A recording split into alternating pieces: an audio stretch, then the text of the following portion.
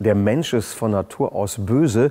Wenn er dennoch gut ist, so ist es die Frucht der Kultur. Nicht von mir, sondern von alten chinesischen Philosophen. Und sie wissen auch, Kultur braucht einen wachen Geist. Ihren Geist jetzt hier bei der Verleihung der, wie ich finde, ganz besonderen Auszeichnung Düsseldorfer des Jahres 2020 und den Geist einer ganz besonderen Preisträgerin. Wer das ist, in dieser Kategorie Kultur, wir geben wieder rüber ins Areal Böhler zur Verleihung in der Kategorie Kultur.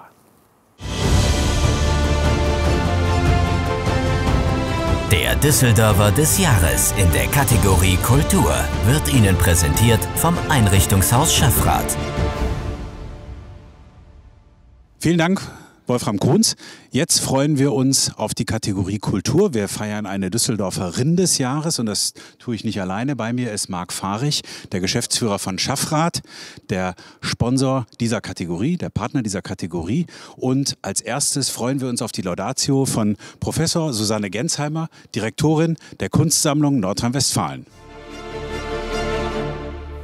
Liebe Julia, sehr geehrte Damen und Herren, für den Bereich Kultur hat die Rheinische Post als Düsseldorferin des Jahres die Sammlerin und Unternehmerin Julia Stoschek ausgezeichnet. Dazu möchte ich dir, liebe Julia, von Herzen gratulieren. Ich selbst bin noch nicht sehr lange in Düsseldorf, aber eines weiß ich, dass dir diese Auszeichnung in vollem Maße gebührt. In der Begründung der Jury wird unter, anderem dein Bekenntnis zu Düsseldorf genannt – und aus meiner Sicht ist das, was du mit der Julia Stosche Collection in der Schanzenstraße in Oberkassel geschaffen hast, eine ganz einzigartige Liebeserklärung an diese Stadt. Aber beginnen wir am Anfang. Ursprünglich kommt Julia Stoschek aus der Wirtschaft und dem Unternehmertum und ist eher über einen Zufall mit der zeitgenössischen Kunst in Berührung gekommen. Eine ihrer ersten Begegnungen war eine große und äußerst beeindruckende Videoinstallation des britischen Künstlers Douglas Gordon. Und die tiefe Faszination, die von dieser Arbeit über Leben und Tod ausging, hat die Sammlerin bis heute nicht verlassen. Diese tiefe Faszination, die Leidenschaft für die Kunst, aber auch die Gabe, die Qualität eines Kunstwerks sofort zu erkennen das sind die Eckpfeiler, auf der Julia Stoschek ihre Sammlung aufgebaut hat. In knapp 20 Jahren ist eine der weltweit bedeutendsten Sammlungen für internationale Gegenwartskunst zustande gekommen, die heute etwa 900 Werke von über 300 Künstlerinnen umfasst und deren Schwerpunkt im Bereich der Medienkunst von den 1960er Jahren bis heute liegt. Julia Stoschek bezeichnet sich selbst als Archivarin der aktuellen Kunstproduktion. Ihr Ziel ist es, die Gegenwart aufzufangen, der eigenen Generation Ausdruck zu verleihen und gesellschaftliche, kulturelle und auch technologische Veränderungen wiederzuspiegeln. Dabei hatte Julia Stoschek immer den Mut, sich subversiver und politischer Kunst zu öffnen und die Gabe, junge Künstlerinnen, die später sehr berühmt wurden, schon vor allen anderen zu entdecken. Zu ihrer Sammlung gehören unter anderem Werke von Marina Abramovic, Ed Atkins, Simon Denny, Sau Fei, Bruce Naumann, Pippi Lotti Rist, Hito Steyerl, Christoph Schlingensief oder Wu Zhang. 2007 hat Julia Stoschek beschlossen, die Öffentlichkeit an ihrer Sammlung teilhaben zu lassen und aus ihren privaten Mitteln die Julia Stosche Collection mit ihrem ersten Standort in Düsseldorf zu gründen. Sie ließ ein ehemaliges Fabrikgebäude in der Schanzenstraße in Oberkassel vom Architekturbüro Kühnmal-Wetzi zu einer repräsentativen Ausstellungsfläche von über 2500 Quadratmetern ausbauen.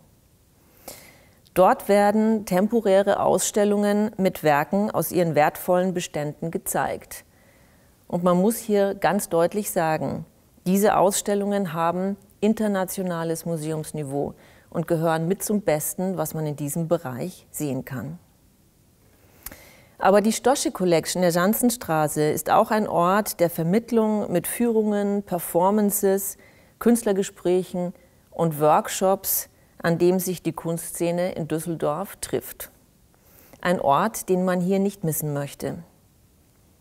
2016 wurde schließlich die Dependance in Berlin gegründet, wo heute auch der Lebensmittelpunkt der Sammlerin ist. Doch Düsseldorf ist das laut Julia Stoschek Mutterschiff, an dem sie selbst festhält und ihr großes Bekenntnis zu dieser Stadt zeigt. Eine einzigartige Sammlung über viele Jahre an zwei Standorten zu zeigen und dies vollumfänglich selbst zu finanzieren.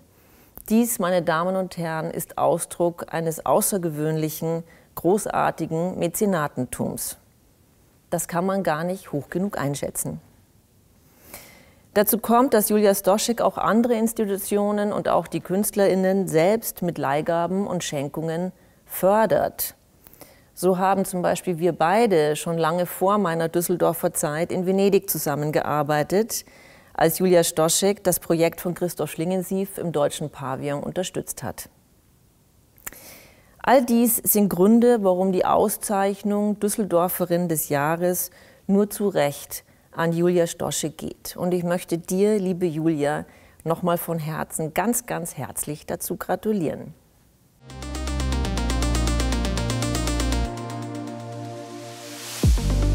Jede Zeit hat ihre Kultur und ihre Kunst. Und für Julia Stoschek, Kind der 70er Jahre, war bald klar, Spannend sind vor allem die damals neuen audiovisuellen Kunstformen.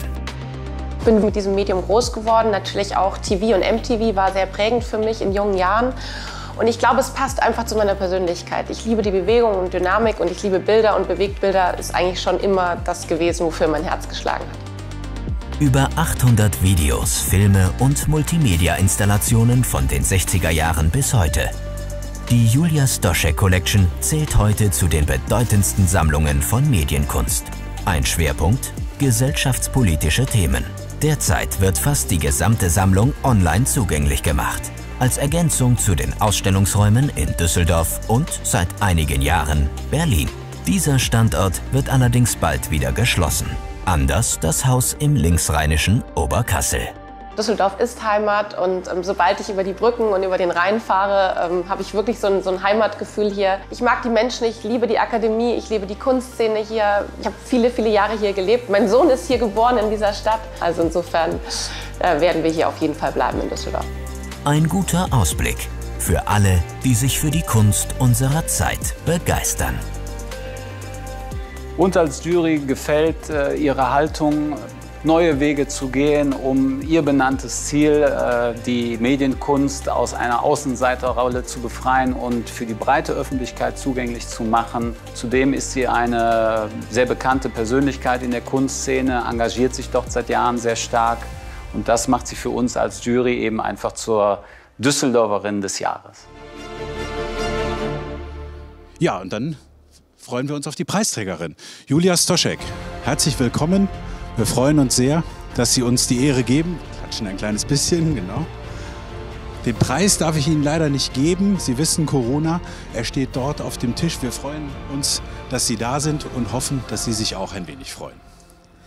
Ja, Sie sehen mich hier freudestrahlend, fast schwebend vor Glück. Ähm, der Preis bedeutet mir wahnsinnig viel.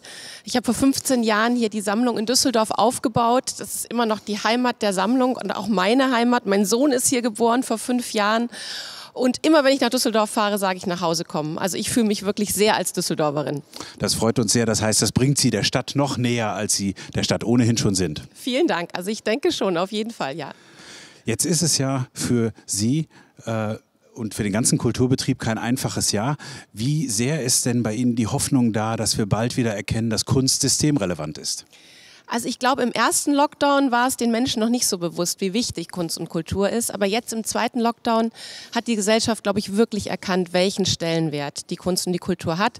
Wir werden direkt nach dem Einzelhandel genannt und ich bin ganz zuversichtlich, dass wir wieder eröffnen können, vielleicht ja schon nächstes Wochenende. Ja, wir freuen uns schon, wenn Termine vergeben werden dürfen und hoffen, dass Ihnen das auch Auftrieb gibt. Auf jeden Fall. Düsseldorf ist so eine tolle Kunst- und Kulturstadt und das übrigens ähm, seit mehr als 100 Jahren mit einem gewachsenen Bürgertum, was ich wirklich weltweit nur in Düsseldorf so kenne. Und ich glaube, die Menschen hier in Düsseldorf freuen sich sehr, wenn sie wieder in die Ausstellungshäuser gehen können.